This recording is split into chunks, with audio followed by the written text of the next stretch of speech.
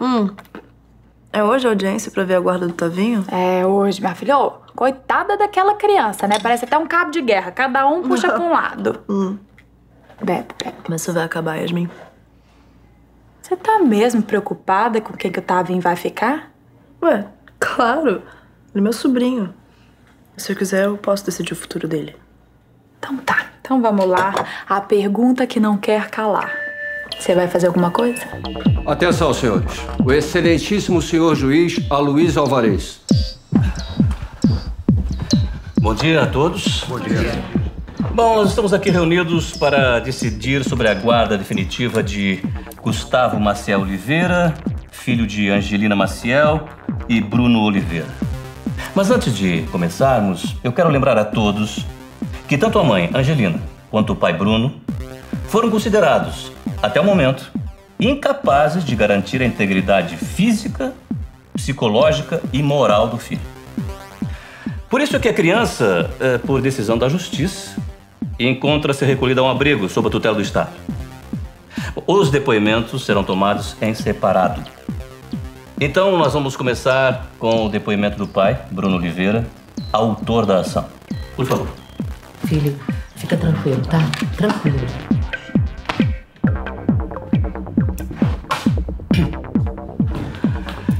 É, Bruno, qual a sua idade?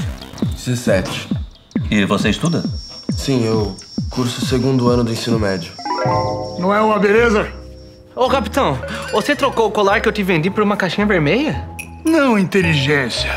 A caixinha pra colocar o colar dentro. Ah, Será que a musa do meu fado vai, vai gostar? não sei, né? Eu não vejo utilidade de uma caixinha vermelha. Não vai Não, o que é isso? Tô falando do colar. Ah, Aliás, colar. O que, que você fez com o dinheiro do colar? Eu ve- eu vesti na bolsa. Aqui, comprou ações? Eu comprei, eu comprei aqui, ó. Uma bolsa cheia de bolinha de gude e uma bolsa cheia aqui, ó. Grande, grande negociador. Eu moro num quarto na escola junto com a minha mãe. E você acha que esse quarto reúne condições mínimas para criar seu filho? Olha, o, o quarto é pequeno, mas tem espaço suficiente pra gente. É...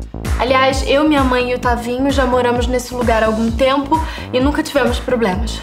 O meu cliente soube que o menino teve sérias crises alérgicas por causa da umidade desse quarto.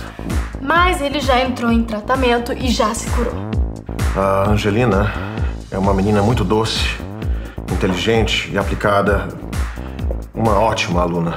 Mas pelas informações que nós temos, ela repetiu o ano. Sim, sim, isso é verdade. Mas isso aconteceu por força das circunstâncias. Não tem absolutamente nada a ver com a capacidade dela. A Angelina é uma mãe maravilhosa. Ela faz tudo por Tavinho. Inclusive sequestrar o próprio filho? Protesto, meritíssimo. Concedido. Reformule a pergunta. Uma mãe não sequestra o próprio filho. Dona Maria das Montanhas, a senhora confirma que a Angelina tentou fugir com o bebê? Ela tentou, mas é porque ela estava muito desesperada, não sabe? Débora, eu vou dar uma passada no tribunal. Eu resolvi aqui, vim aqui pra ver se tá tudo bem. Débora? Ué?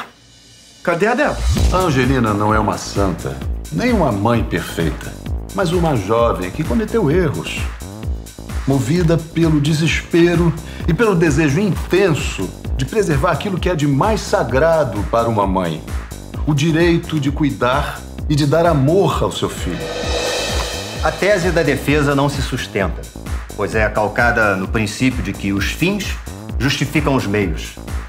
Em nome de um suposto amor de mãe, Angelina desrespeitou uma decisão da justiça, o que por si só já é um erro muito grave. Sem falar que uma menina como essa não tem como sustentar um filho, não tem como sustentar financeiramente um filho.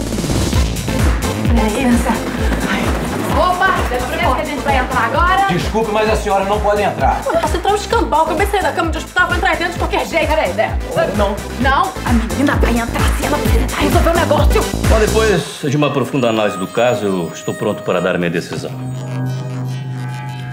Eu vou conceder a guarda de Gustavo Maciel Oliveira à avó paterna, Marília Oliveira, por entender que a mesma atende melhor os interesses da criança.